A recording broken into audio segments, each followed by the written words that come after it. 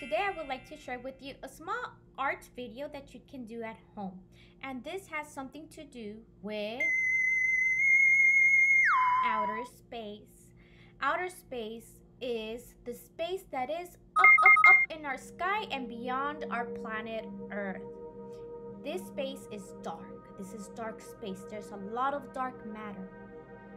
But in between this dark matter, there is light there are speckled lights. Can you think of what these speckled lights can be?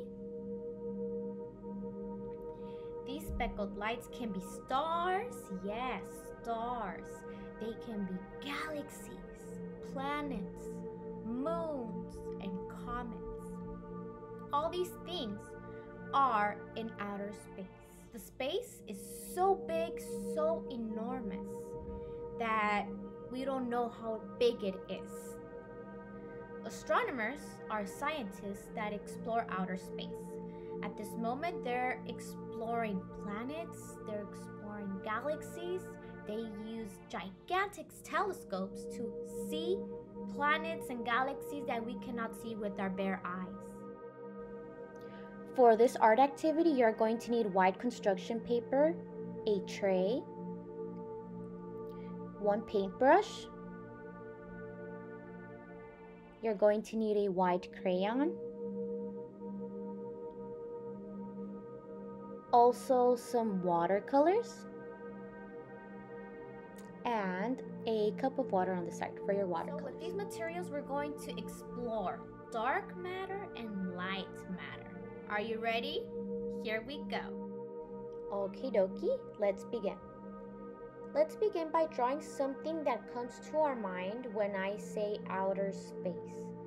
What comes to your mind when I say outer space? Think about it and begin to draw. Use your white crayon to draw on your white paper. Draw, draw, draw. As you're drawing, you'll notice that you won't be able to see your drawing.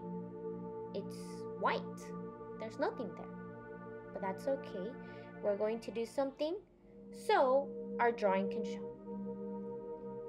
Let's make a dark watercolor, like space, like that dark space, dark matter. How can you make dark colors?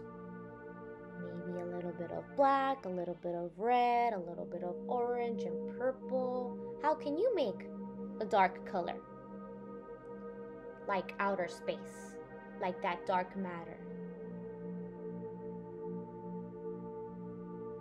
Continue adding colors, mix, and once you're done, you can spread that dark watercolor on your paper and look what happens. You can also add colors from your watercolor palette. So you can go back and forth.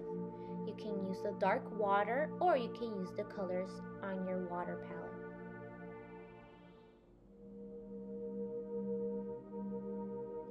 To spread all those colors. Spread, spread, spread. Add some water on top of that color. And as you're spreading, you'll see the shapes and the lines you made. You'll begin to see what came to your mind. Look at that. There are some spirals, some dots, crescent shape.